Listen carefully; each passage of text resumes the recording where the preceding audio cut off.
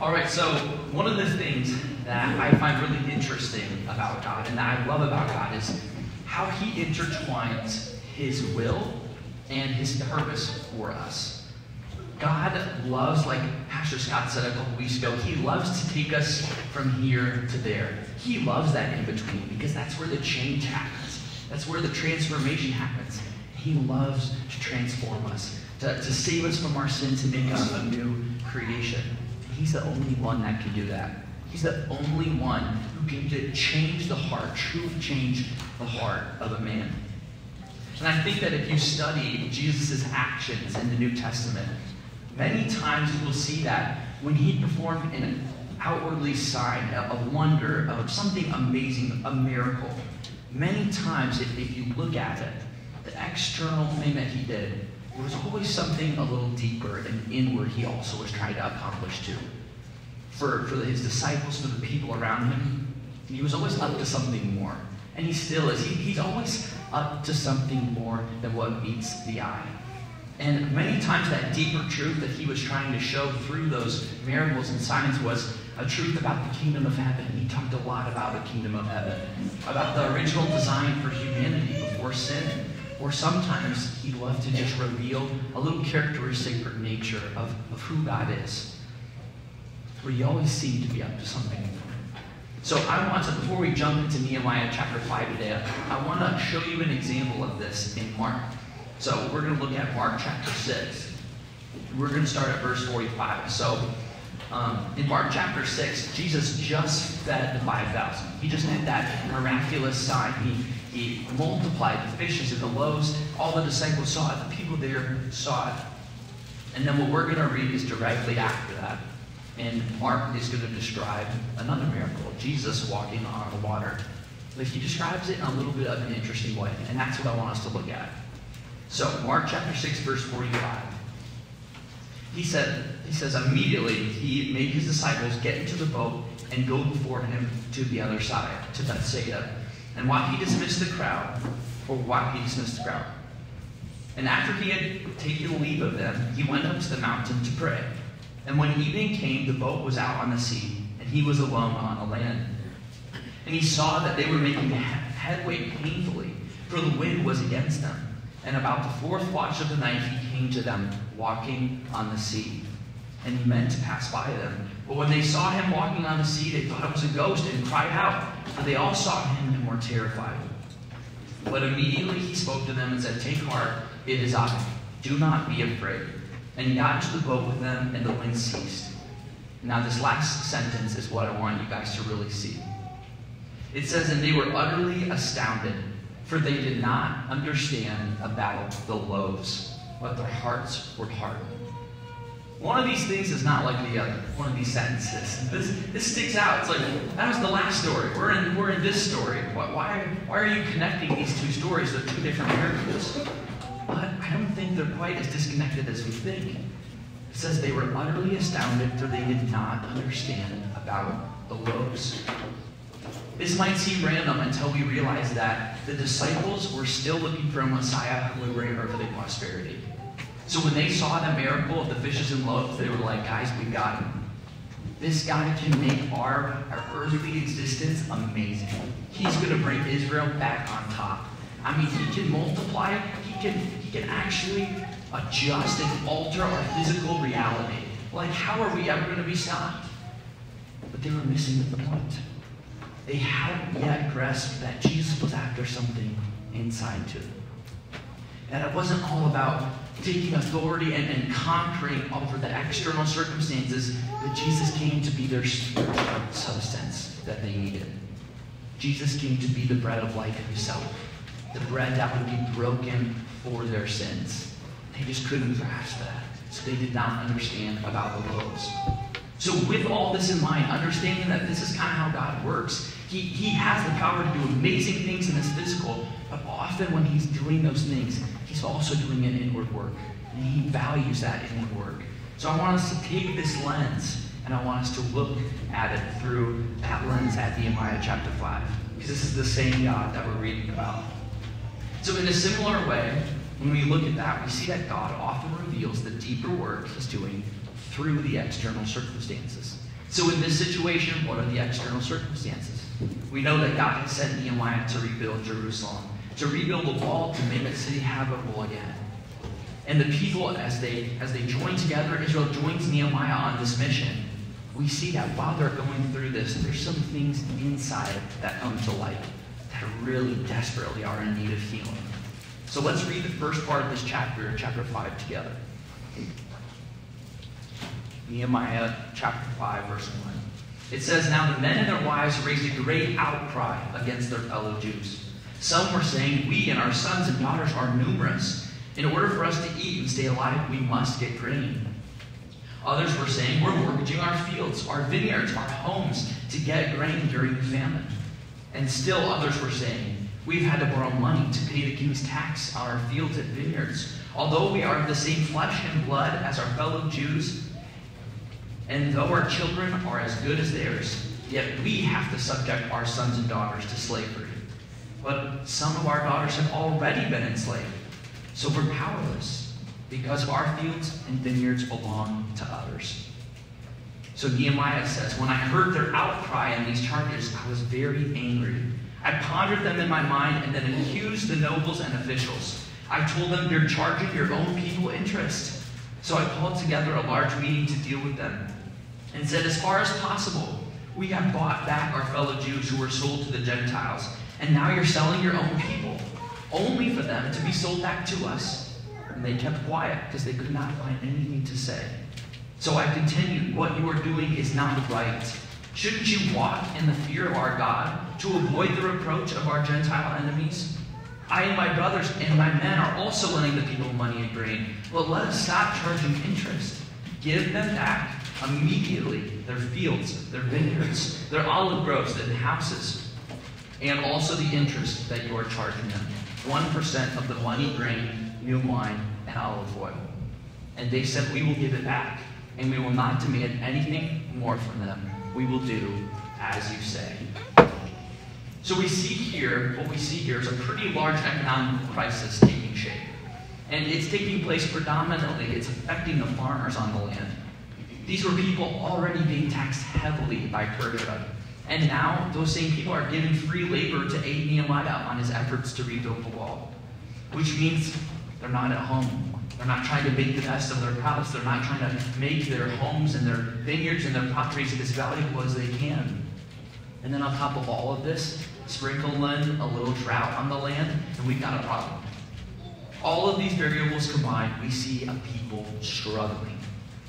They're struggling so much that we see three different groups in this text kind of arise. Three different Jewish groups come forward and they complain. The first group are landless farmers, and they're complaining because because they don't really have any property or, or because they don't have any land, they're being forced to pledge the only thing they do that have, but the only thing they have left that has value, and that's their own sons and daughters. So they're putting their, their children to be slaves just to buy food. Another group complains that they're pledging their fields, their vineyards, and even houses in order to buy grain. And still another group struggling to pay the tax. So they're having, in order to pay, borrow silver in order to pay the tax, the only way they can do this is to use their own property as collateral. And the worst part about the suffering going on, the, the worst part about the situation and the complaints, is that the creditors, the people on the other side of this, the ones who are lending the money, the, the ones who are acquiring the interest and seizing the property, were Jews, their own people. The wealthy and the nobles in the land oppressing their own people. Jews being sold as slaves to Jews, relatives holding debt over the heads of relatives. And Nehemiah gets word of all of this. And he's, rightfully angry. He hears the outcry of the people, and he's furious, and he's led to action. So he gathers the nobles and officials, and he holds them accountable of all of this. So this is how I imagine Nehemiah's thought process going into this meeting. I don't know about you guys, but have you ever tried to do a favor for somebody and they make it really hard for you to do that favor? Like you want to bless them, and they just make it so hard for you to do that. You're already going out of your way to, to do whatever it is to gather resources, and you're gathering people from their busy schedules, and, and you're taking money and energy and time away from your life because you're gonna you have it in your mind. I'm gonna bless these people.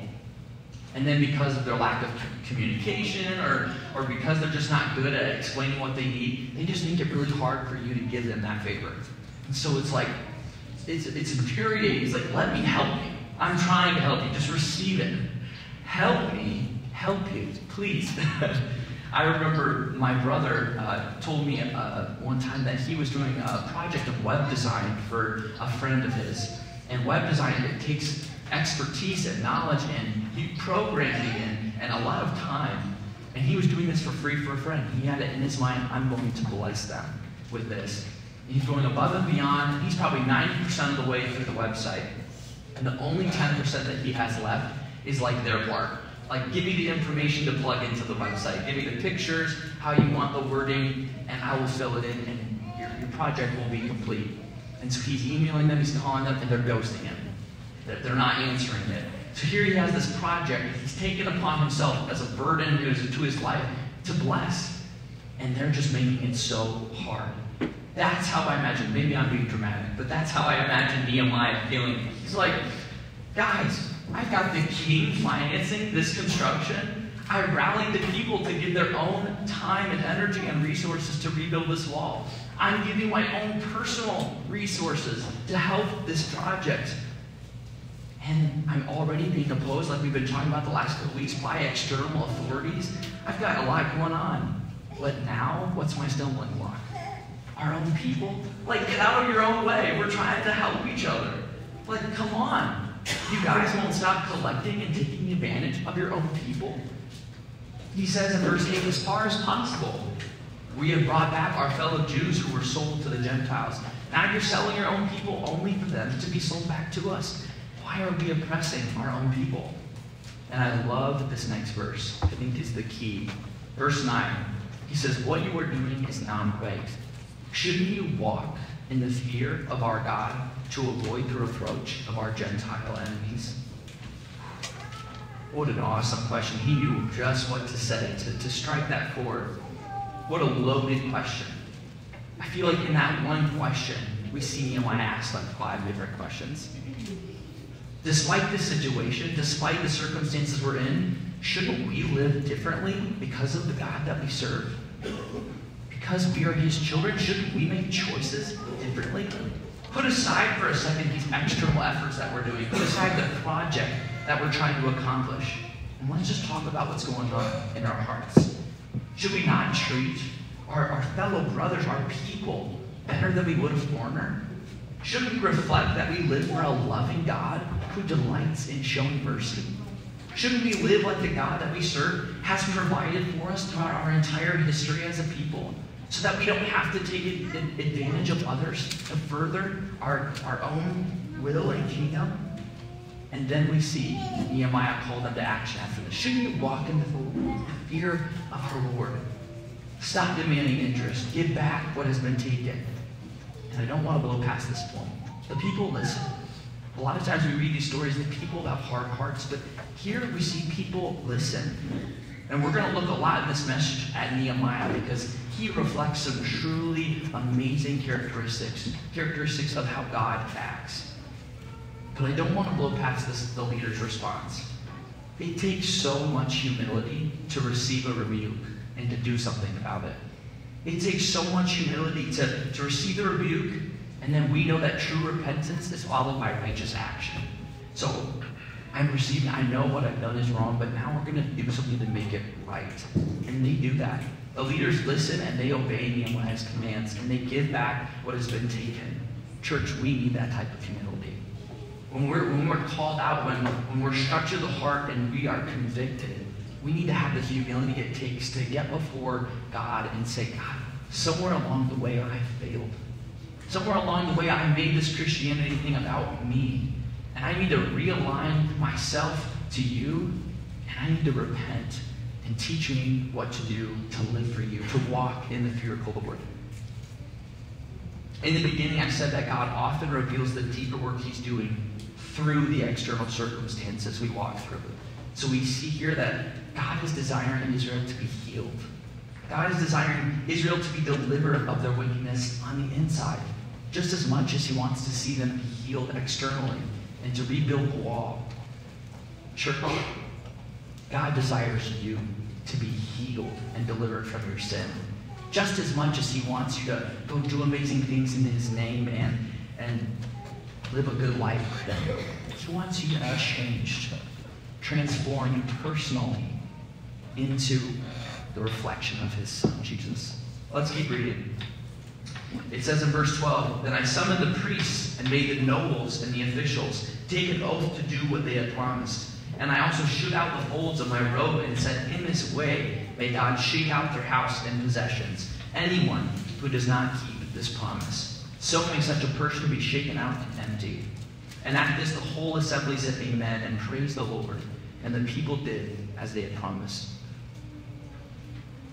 When we, as followers of Christ, allow God's will to be our mission, we can come together and be united despite any external circumstance. The enemy will do everything in his power to set to us stumbling blocks, to, to put Goliaths in our path, to, to, to slow us down, to slow God's people down from fulfilling his will. And then when through the power of Christ we conquer those Goliaths and we press forward, the enemy's fallback strategy has never changed. It's always moved from external to let's cause division within the people. Let's isolate them. Let's make enemies out of themselves. But when we walk in the fear of the Lord, when we live our lives as living sacrifices for His will and His kingdom instead of our own, we will always be united. We have a common goal, a common purpose, a common God. God has no division within Himself. Jesus said himself, a house divided against itself cannot stand. God has no division within himself. So as his children, we need to live and make choices differently to reflect that. To sacrifice in order to keep unity. The fruit of God's Spirit will always be love and peace. So when among ourselves, if there's discontentment and strife, frustration, we must humble ourselves. We must humble ourselves enough to come together, yield to Christ's authority, and refix our eyes on the Lord. And on the mission that He has at hand for us. We see this people does that. The people listen, they receive the rebuke, they listen, they come together, and they obey Nehemiah's command. Let's keep reading verse 14. He says, Moreover, from the 20th year of King Artaxerxes, when I was appointed to their governor, uh, to be their governor in the land of Judah, until his 32nd year, 12 years, neither I nor my brothers ate the food allotted to the governor. But the earlier governors, those preceding me, placed a heavy burden on the people. They took 40 shekels of silver from them in addition to food and wine. Their assistants also lorded it over the people. But out of reverence for God, I did not act like that. Instead, I devoted myself to the work on this wall. All my men were assembled there for the work. We did not acquire any land. Furthermore, 150 Jews and officials ate at my table, as well as those who came to us from the surrounding nations. Each day, one ox, six choice sheep, and some poultry were prepared for me.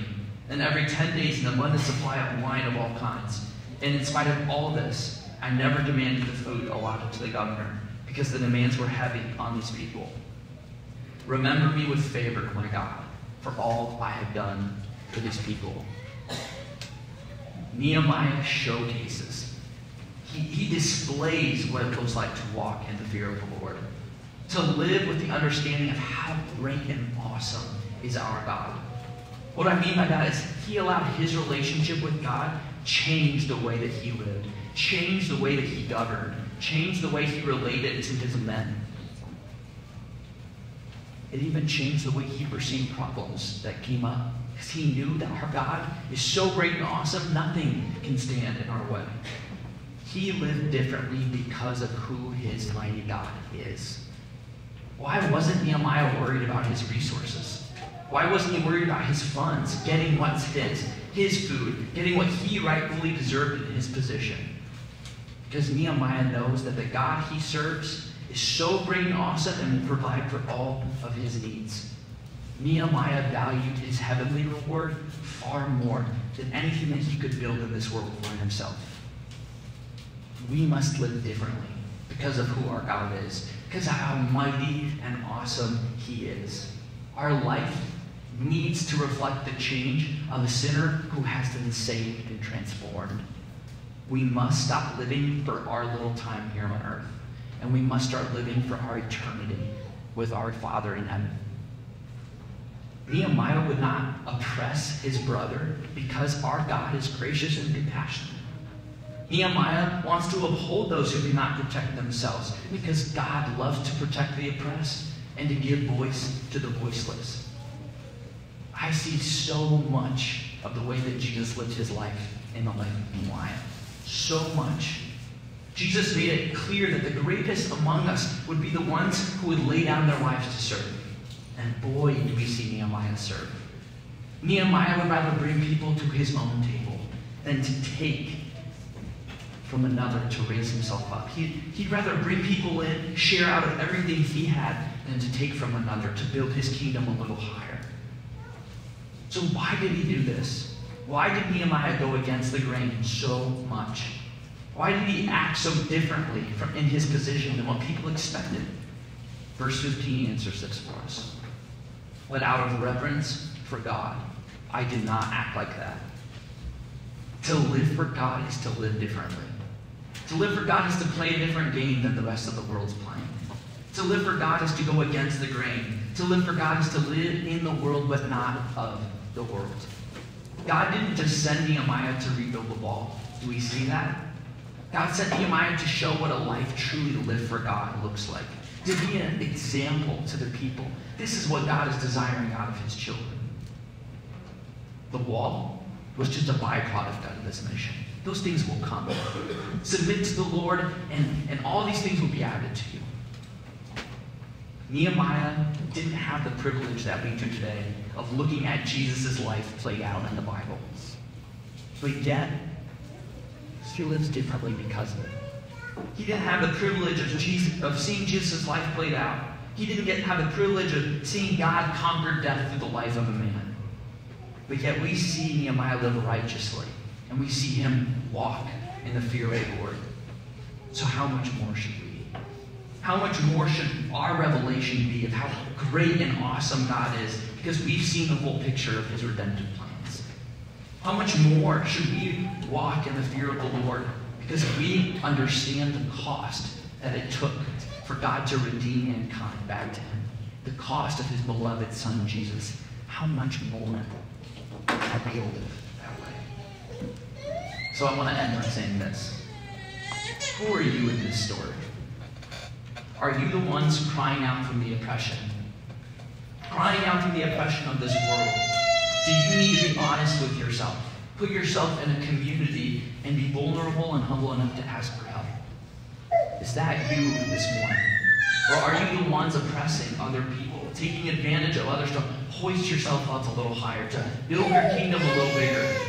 And do you need to repent and say, God, somewhere along the line, I made this about me. I made this, this life purpose about me and, and how I could live my, what I consider to be a good life. Instead of how can I live to bring you honor and glory? And we need to repent? Or are you the one that God has raised up to reflect his character and nature to the world? Are you the Nehemiah? Are you the Nehemiah? I think we should all strive to be the Nehemiah who will yield our position, who will yield our authority, our, our resources, our time, our effort, all for the sake of just walking in the fear of the Lord and serving Jesus well. So, whatever season of life that you're in right now, I just want to encourage you this morning to take a step back and ask God what internal work He's doing. Ask God to reveal what internal work He's trying to accomplish in your life and what about Himself He wants to reveal to you. Is He trying to show you how faithful of a provider He is? Is He trying to show you how great of a healer He is by touching that relationship in your life that needs help? Or does He just want to break down the blocks you put Him in, in your head and just show you how great and awesome He is?